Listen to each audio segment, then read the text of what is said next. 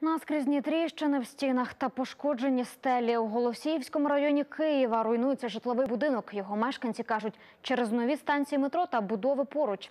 Люди постійно звертаються зі скаргами до місцевої адміністрації, однак допомоги поки що не дочекалися. Чому з'ясовувала Олександра Башкатова.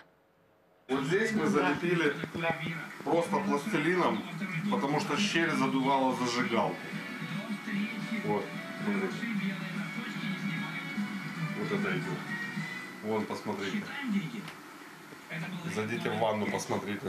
У квартирі Репецьких перші тріщини з'явилися сім років тому, коли почали будувати станцію метро Деміївська, розповідає подружжя. Тоді фундамент будинку осів. Коли ж звели новий житловий комплекс, розколини стали ще більші.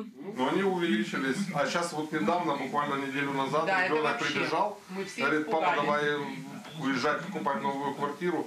Я не знаю, что они, они сваи закручивали. Но Но конкретно... Ну вот неделю назад э, что-то забивали. Или что-то разгружали. Ну, упало так, я, я на балконе курил, я убежал с балкона. Но когда начало дому так просто трусить, я уже хотел предложить выйти всем на улицу. Знімальна група першого завітала до 10 квартир у чотирьох під'їздах будинку. Ірина Барчан розповідає, у її під'їзді найбільші пошкодження. Каже, час від часу комісія від ЖЕКу приходить та фіксує руйнування. Проте чи робитимуть вони щось далі і коли, не кажуть. приходят и уходят, это беспрерывно. С периодичностью, там, месяцы или иногда и чаще, и это самое, но вот и ныне там.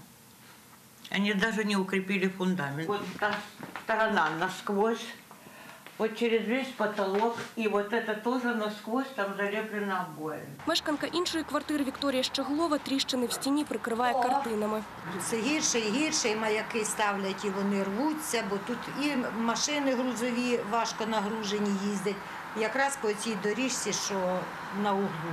У комунальному підприємстві «Київспецжитлоексплуатація», яке відповідає за весь житловий фонд столиці, кажуть, перші тріщини з'явилися задовго до будівництва метро.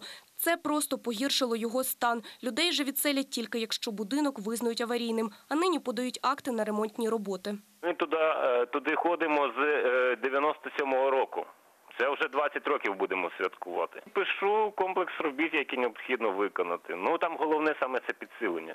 Робити там треба проект на підсилення, на ін'єктування тріщин, на прийняття рішення щодо конструк... конструкції е, самого підсилення стін, також фундаментів. Новини на першому надіслали запит в Голосіївську районну адміністрацію. Звідти відповіли, останнє обстеження будинку проводили наприкінці вересня. Димові та вентиляційні канали непридатні до експлуатації. Це може призвести до нещасних випадків та аварійних ситуацій. Тому Київгаз відключив будинок від гарячої води. Однак на ремонтні роботи та укріплення фундаменту грошей ще не знайшли. Олександр Башкатов, Олександр Самойлов. Новини на першому.